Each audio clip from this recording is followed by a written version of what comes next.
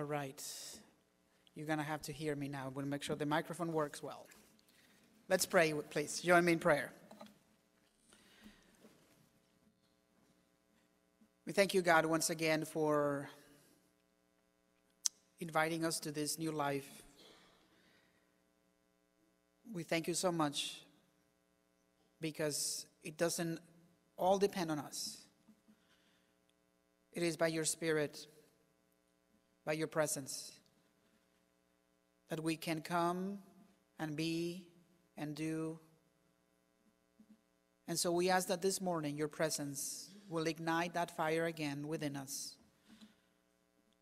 so that your new creation in us can bring good news to the people around us. In Christ's name we'll pray. Amen. Before I was ordained as a pastor now a few years back, um, one of the requirements that I had to do in order to be ordained coming from the Virginia conference was that I had to do a unit of what they call clinical pastoral education, or uh, as others call it, CPE, or as some of my friends calls it, uh, booth camp for pastors. Um, there are a lot of variations of CPE. One is that basically on top of the, your work that you do at the church while you're serving a church, uh, you have the you have to basically add an average of 20 hours, extra 20 hours to your work schedule, and you have to do an internship um, either at a hospital, uh, a prison, um, any sort of special institution that needs pastoral care, uh, retirement home. And uh, certainly it, it is a very formative experience because you get a chance to not just serve people in particular settings as the hospital or the prison or retirement home, but also because uh, there is supervision. You get a supervisor who's uh, in a group with you, with other pastors who are doing the same, trying to train you in the art of uh, being a better pastor, to provide love and care, and at the same time psychoanalyze you. It's a very interesting experience, to say the least. Needless to say, when it came the point for me to do that, I uh, was able to do my CPE at a place called the Goodwin House. It's a retirement home in Northern Virginia, in Alexandria. And uh, a wonderful place, Episcopal place, uh, a wonderful retirement home. It was like the Hilton for people retiring. It's super nice, super expensive, wonderful. And uh, among the many things I had to do besides going to visit people, uh, praying for them, and doing chapel once a week with the other pastors. At least every other week, I was in charge of leading a service for the Alzheimer's unit.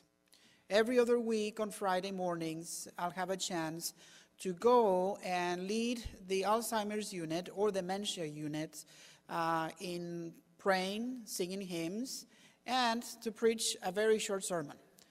Um, so every week, you never, I never knew what I was going to encounter, to be quite honest. And uh, not only because of the reactions of the people, uh, but also because every week you will have either new people coming in or people who were there who were no longer there. But there was something that really stuck with me out of doing that work in that unit. You know, I would be, I would be, uh, we would be reading scriptures, and we would be just i would be talking introducing myself good morning how are you and you know people seem to be somewhere else then we would begin to sing and the same people who could not know their name the same people who didn't remember who were their family members the same people who, again, didn't know where they were in that particular moment.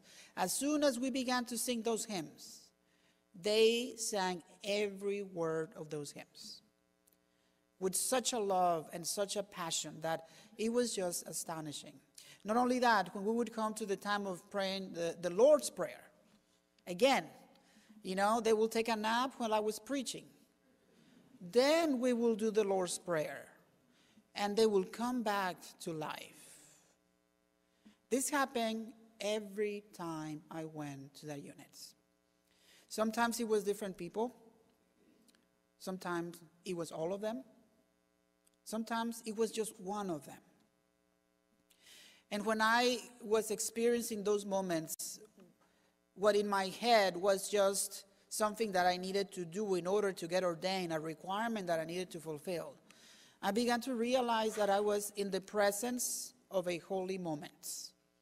I was in the presence of a God moment where I got to see or I got to experience the power of God in the lives of those wonderful men and women who, no matter what they were going through, they remember how much God loved them.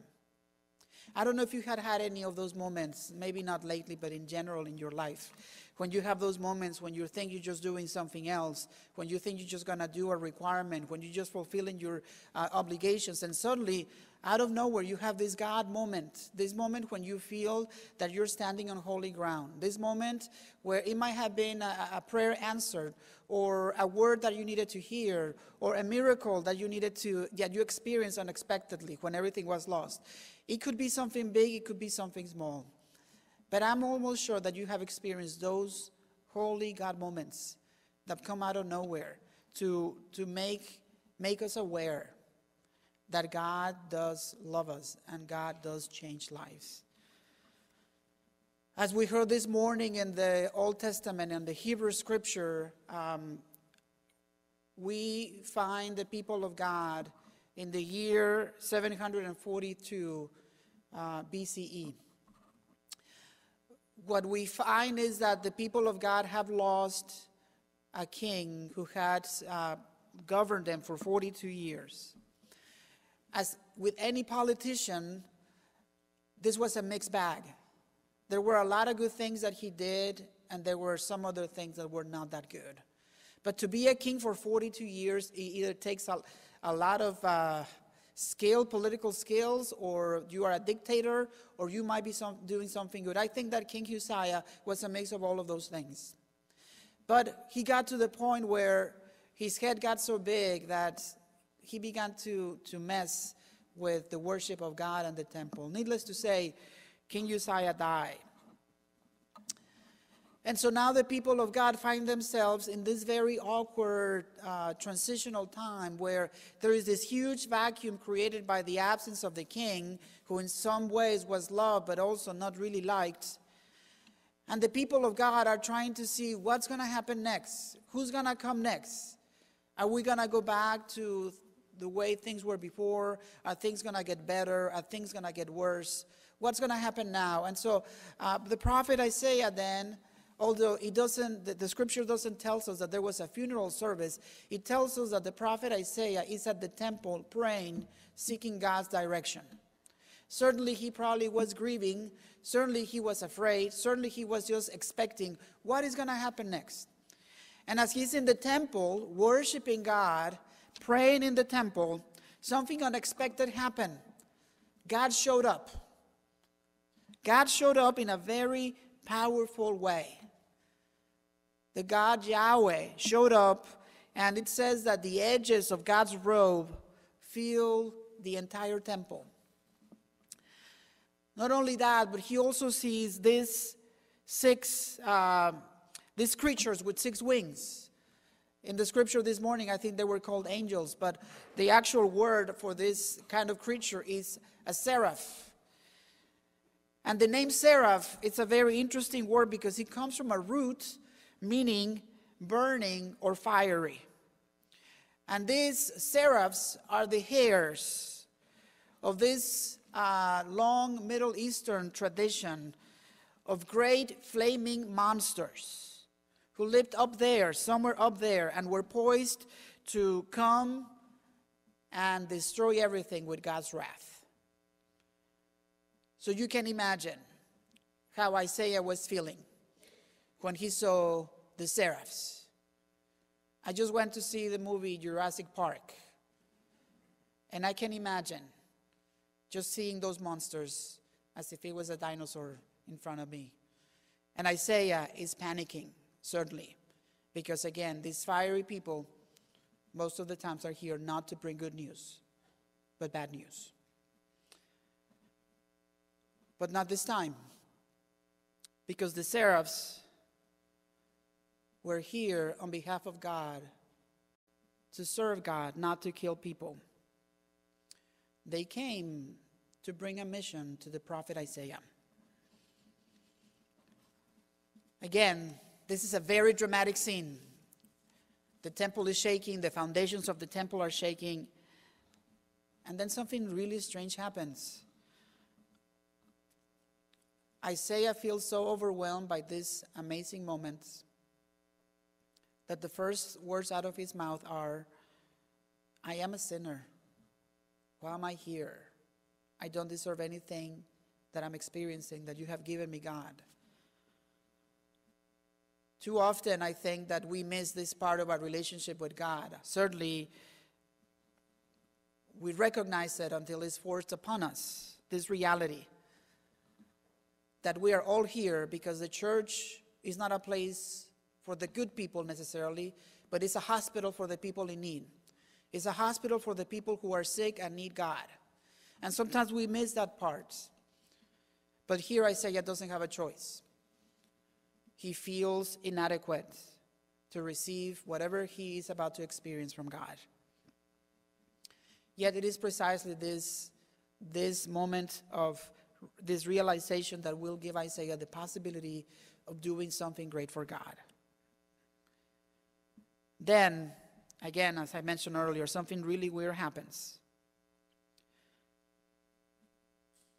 These creatures take a coal, a burning coal,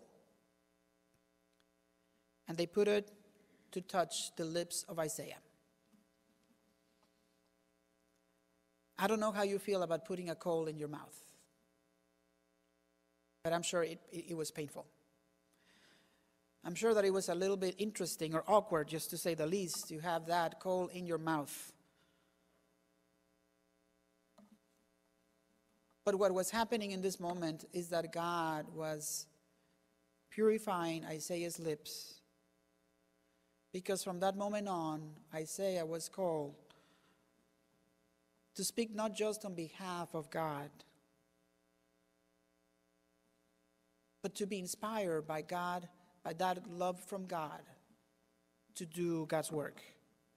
The fire in Isaiah ignited in him a power so that he would go into his country and his people in this moment of transitional leadership, in this moment when people were very anxious about the changes, in this moment when people didn't know where to turn, when people were frustrated because of the old leadership, who's going to be the new leadership, who's going to come behind us, who's going to make things better, are we going to go back to our old ways?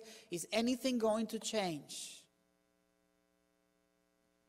And God just gave Isaiah the fire to assure the people of God that things will not be the same and that God was not done with them and that God was going to transform the earth through Isaiah's words.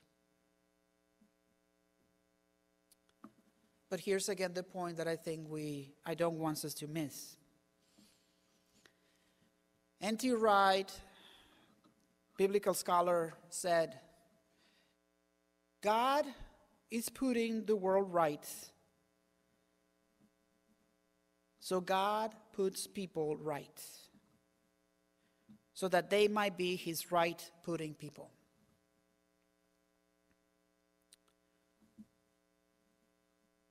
In order for the world to change, in order for the church to change, you and I need to be right with God. We need to be forgiven. We need to forgive. And we need to open our hearts to whatever God is going to do now. And today, God is appearing once again to all of us this morning. God is grabbing that fiery coal and is ready to place it on our lips. But we have to be willing, like Isaiah, to be put, put right before God.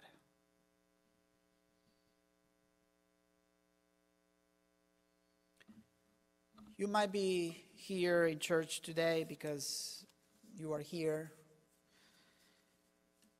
but this might be a holy moment for you and for me. The good news this morning